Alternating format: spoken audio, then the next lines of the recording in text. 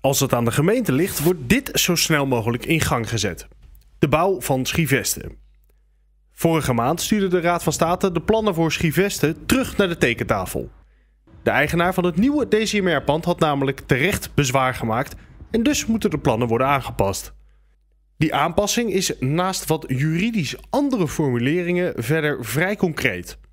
Dit gebouw gaat weg en dit gebouw wordt in plaats van 90 meter 45 meter hoog. Soms is het tijd om uh, hand in eigen boezem te steken.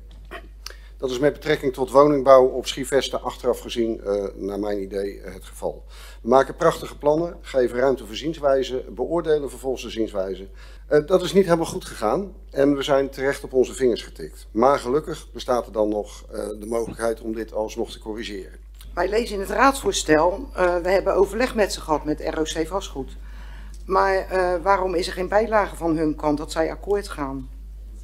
En wie zegt dat wanneer de Raad over dit herstelbesluit akkoord geeft, ROC vastgoed straks alsnog niet akkoord zal gaan en zij opnieuw bezwaar zullen indienen bij de, bij de Raad van State.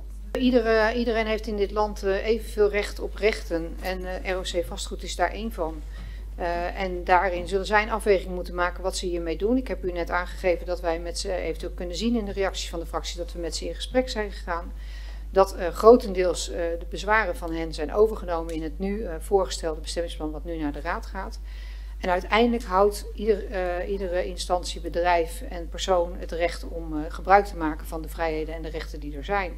Daarvoor gaan wij niet met hen dwingend om. En, dus wij gaan dit nu voorstellen. We gaan in alle redelijkheid ervan uit dat zij dat niet zullen weer in bezwaar gaan. Is dat wel zo, dan is het zoals onze rechtsstaat geregeld is in dit land. De gemeenteraad stemt volgende week dinsdag over het nieuwe bestemmingsplan voor Schievesten. Wordt dus vervolgd.